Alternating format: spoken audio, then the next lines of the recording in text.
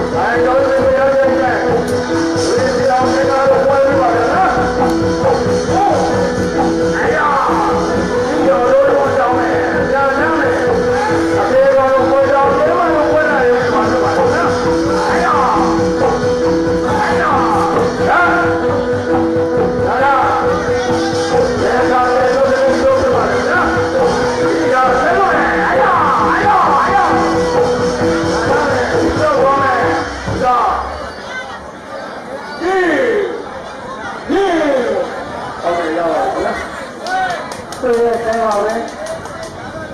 ကကတန်းနဲ့တွေ့နေတော့ရင်းတော့မခံနိုင်ဘူးနော်ဒါပေမဲ့စိတ်ခေါ်ရတယ်ဆိုတော့ဘယ်ကလည်းကြည့်အောင်လို့နော်ဟုတ်ကဲ့ပါခင်ဗျာအခုချိန်ကတော့ကြတယ်။ဘာလို့လဲဘုရားကြီးကဒီကောင်းနဲ့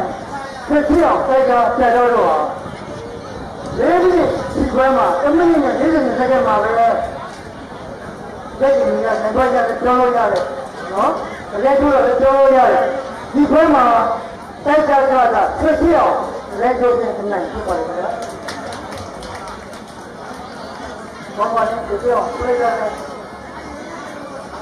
ပြရအောင်ပြရအောင်